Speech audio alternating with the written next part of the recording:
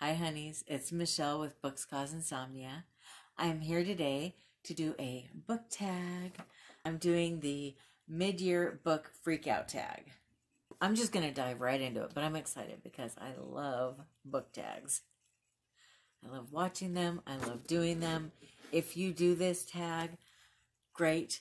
I don't tag people, but um, let me know if you do it though, because I like watching other people's tags. I just want to watch it. I just want to hear your answers. Number one, best book you've read so far this year. My favorite book so far this year is The Midnight Library by Matt Haig.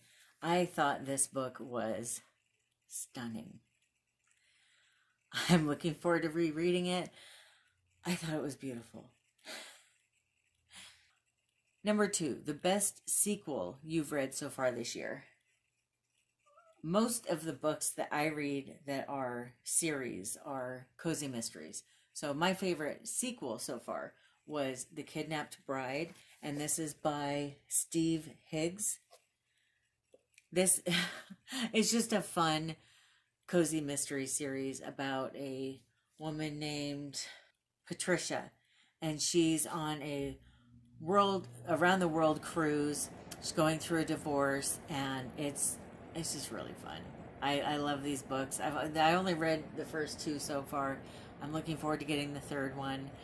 Number three, new release you haven't read yet but want to. Okay, I've got a couple of those.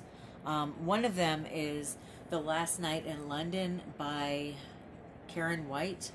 I've I've read a lot of Karen White's books and I really like them. They're kind of like old school VC Andrews books. Like old school though, like when it was really her writing before she passed away. In the sense that they're these haunted family stories where there's something sinister that happened, you know, three generations ago. And we're trying to figure out what that is. And I love situations like that. There's a lot of ghosts in her books and yeah, just a lot of generational drama and intrigue. Another one that I'm just I'm I'm kind of over the moon excited about a bunch of books, but I'll just tell you a couple more, okay? Um, one, I've never read this author before, but The Final Girl Support Group by Grady Hendrix. I keep hearing Grady Hendrix is amazing and I'm going to have that be the first book by him that I read. I'm super excited about it though. And then one of my favorite authors that I've read so far this year is uh, Megan Collins. She wrote The Winter Sister. I'm not going to take it out, but back here. I thought that book was so good and I really loved it. And she's got a new book coming out called The Family Plot. And that one comes out the final girl support group comes out the 13th of July. And then Megan Collins, The Family Plot, comes out the 17th of August. And then the The Last Night in London by Karen White is already out. Biggest disappointment. I can't even find it. I think the book ran away because I had so many mean things to say about it. But my least favorite book so far this year that was such a disappointment. Well, gosh, I had two of them. Um, one was Where the Crawdads Sing. I just, I think I heard too much hype about it. And so when I went to read it, I was surprised at how much I didn't like it. And then the other one that was a huge disappointment to the but but because I found it offensive was this one, uh, The Kiss Thief by L.J. Shen. I just didn't care for the best way to word it is I like I mentioned in my book review video I did of it, it is a feminist nightmare. So I found that offensive. Just the mistreatment and hate towards women that was in this book. Just not a fan. Um, I don't like the justification and it's okay of the whole thing either. So really made my skin boil. Number six, biggest surprise. Okay, that one was Mother May I by Joshilyn Jackson. Have you read this? Have you? Because if you haven't, you need to. It was a really, really good book. And there was some twists that I was stunned by. but not in a way where I felt like I was misled. Just, it was so good. So good. Favorite new author? Okay, I have a couple of them. I really like Steve Higgs. This Steve Higgs. I really like, because I, I like the humor he puts in there with the cozy mystery. I really like Jennifer McMahon. She writes ghost stories that are very haunting and definitely scary, but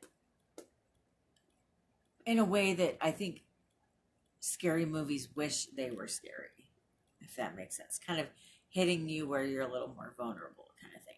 I liked, once again, the generational haunting.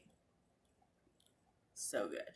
And then the last author that I want to mention, anyway, was I got her hidden back here again. Megan Collins, The Winter Sister. I just love that book, and I can't wait for her new book.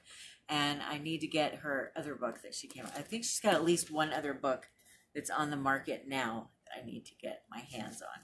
Newest fish, newest fictional crush. Okay,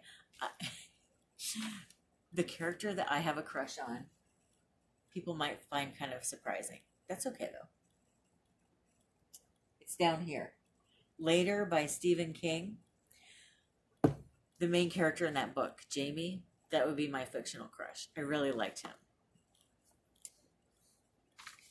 He was witty and intelligent and very intuitive, and I, I just loved.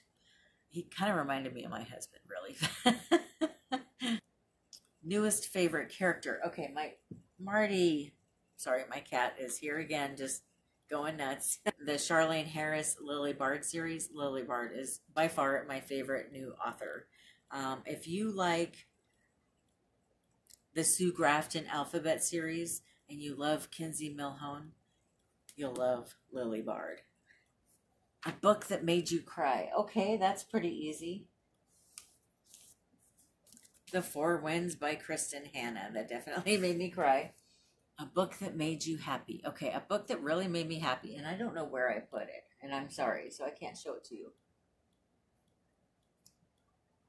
Yeah, I don't know where it is. A Ring of Endless Light by Madeleine L'Engle. It did. It made me happy. It reminded me of the happier points of my um, childhood and my teen years, and just how beautiful things were before the internet and social media took over. Of course, we didn't know then to appreciate it well. This monster of a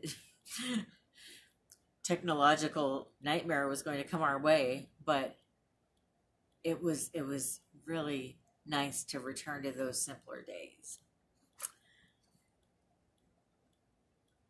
Most beautiful book you've bought so far this year or received? Ooh, most beautiful. It's called Norma by Sofi Oksanen. I think that book is gorgeous. And I hope that I get to read it this year. I got it at the Dollar Tree, and I can't believe it was at the Dollar Tree because it, it looks like a really good book. What books do you need to read by the end of the year? Wow. I've got a list here in my book journal. I think I'm actually going to do in January a book journal video. I'm going to show you the inside of my book journal. An inside look. Not just because I think it's fun seeing people's book journals, but I want to show you how I laid it out and how I do it and why I make my own book journals as opposed to buying them. Uh-huh. So that'll be a fun video that I'll be doing in January. I wanted to wait till the year was over to show you what the final finished product was. But as far as books I plan on reading this year, I could just tell you real quickly, okay? Um, the Layover by Lacey Wall- Wallen. That's a romance novel. Blood Like Magic by Liselle Sandberg. Now, those both came out on the 15th, so I need to go buy those immediately. Um, Survive the Night by Riley Sager, The Therapist by B.A. Paris, The Final Girl Support Group. I already told you about that one. Not a Happy Family by Shari Lapena. The Wonder Test by Michelle Richmond. A Slow Burning Fire by Paula Hawkins. The Family Plot by Megan Collins. Apples Never Fall by Liane Moriarty. That's it so far that I have, that I feel like I have to read this year. Otherwise, I just have, um, I just, oh, I just got a order. There's a sale going on on one of my favorite book websites where I can buy used books at a really affordable price. And it's called Better World Books. I bought nine books and I didn't even spend $30.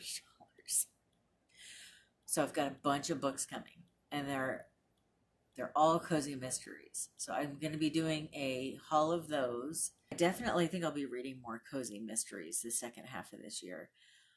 Once I started reading them again, I, I read the entire Lily Bard series in like a week and a half, and I, I just love it.